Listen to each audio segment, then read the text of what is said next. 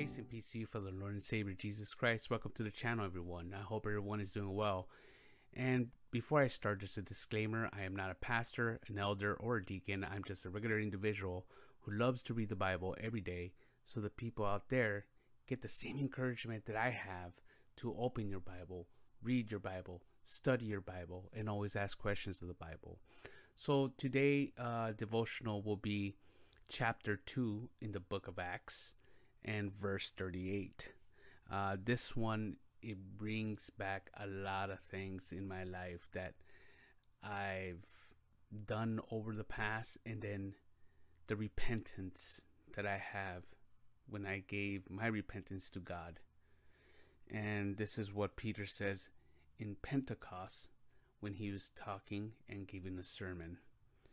And he reads, And Peter said to them, Repent and be baptized, every one of you, in the name of Jesus Christ, for the forgiveness of your sins, and you will be you will you will receive the gift of the Holy Spirit. Now let's go and embark in that. Repentance. This refers to a change of mind, a propose that turns an individual from sin to God. Now, on the baptized, be baptized. This Greek word lit means be dipped or immersed in water.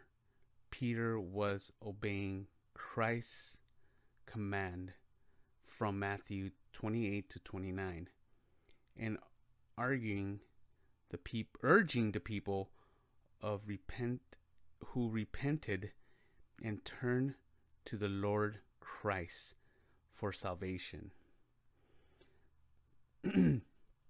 now, that is amazing. We have an obligation from the Lord Savior Jesus Christ. And this is what I'm talking about to the Christians out there to tell, give the gospel, tell them that even Jesus Christ has said, repent because the kingdom of heaven is near. And also in John, you have to be baptized and receive the Spirit to order to be with Him, with Christ.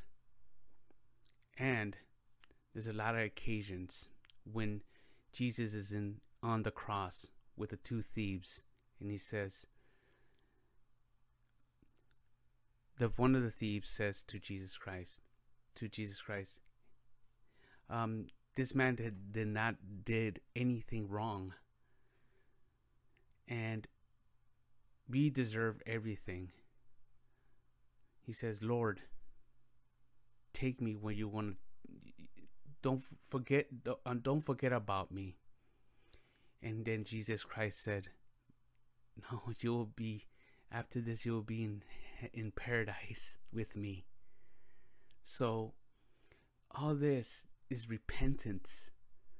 Is repentance of of of like you we have to give our repentance. Because how are we going to start our our ministry or our our way of life you know? That's all about it. We have to give our lives to Jesus Christ. So I'll leave you with that and may the grace of our Lord Jesus Christ be with us and give us grace, mercy, and love. Amen. Hallelujah. Maranatha.